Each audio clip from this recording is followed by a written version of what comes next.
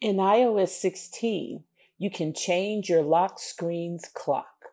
The best way to do is to press down on your screen, customize, click on that, and you can change where the clock is by just tapping the clock and changing how it looks depending on the font that you want to use.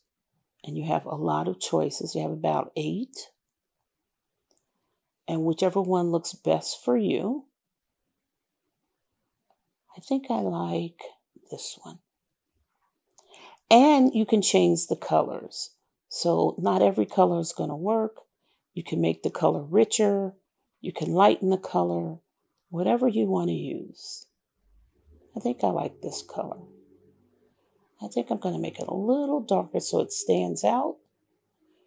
And then you hit the X and then you hit done. And I'm going to set it as my wallpaper. And that's it. There's my new clock.